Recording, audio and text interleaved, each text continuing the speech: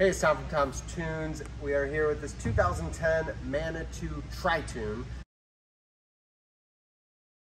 Got a big 150 high output on the back. Really a fun boat, and it's not that old. It's been well taken care of. The catch is, if you get up close here, this giant, heavy, textured carpet traps every little bit of dirt, stains, shows it all. And actually, if we walk around the back real quick, you'll see from the fuel, spilling, the exhaust, who knows. But we've got this layer of crunchy, I'm not even sure what you call that. Um, that's just caked onto the carpet. So the carpet's going. This is getting a vinyl weave, the Deckmate vinyl weave from pontoonstuff.com. Everything's gonna come off. So we're gonna take this boat down all the way to the bare bones, put new plywood on. It's only 10, well, 12, 13 years old. Why replace the vinyl when the wood might wear out in the next 10 years or so? So we just start fresh, all new. That way we know that the glue is gonna stick well to the plywood. We make that investment once in the boat.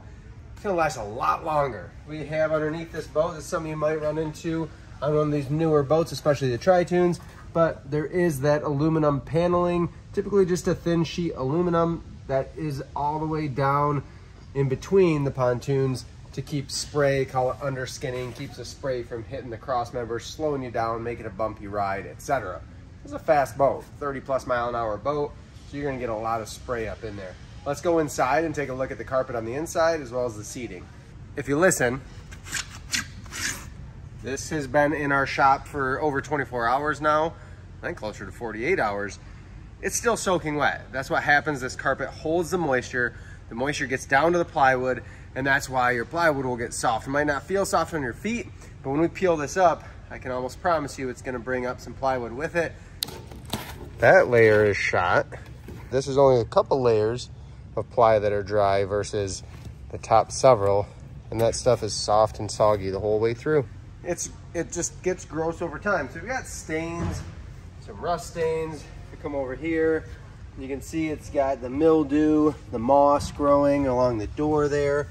Just traps all that in. There's no way to get rid of it. You could power wash, but eventually that carpet gets loaded and you can't, you're just moving it around with the power washer instead of actually cleaning it. We'll get this all taken off, the helm will come off, and then we'll lay that new vinyl weave flooring down, put everything back in, clean it up a little bit, make it look as new as possible, give this, this awesome boat a new chance at easy ownership, zero maintenance, just hose it down or blow it off with a leaf blower and your floor is clean with that new vinyl.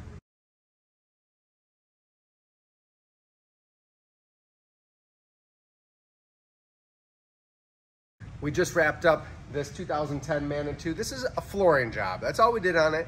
But we took everything off. The underskinning on the bottom, the aluminum sheets, we took the railings. The old plywood, it was 12 years old, but if you saw in one of our other videos, that plywood was soggy, getting wet from the top down for all those years. We went with the tan vinyl weave flooring from pontoonstuff.com. I'll tag the link right now you can click on if you want to shop this type of flooring. It comes in a few different colors and options, as well as the plywood to deliver it right to your house. So you can click that link to shop using our link, our unique link, and our coupon code, which you just enter Tom's Toons at checkout to take advantage of 5% off on your flooring kit.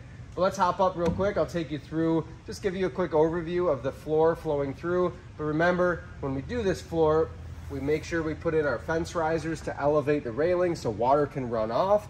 It's not gonna get that mildew and mold and crunchy, nasty moss that builds up on wet carpet. I'll walk you through real quick. We'll show you the finished project.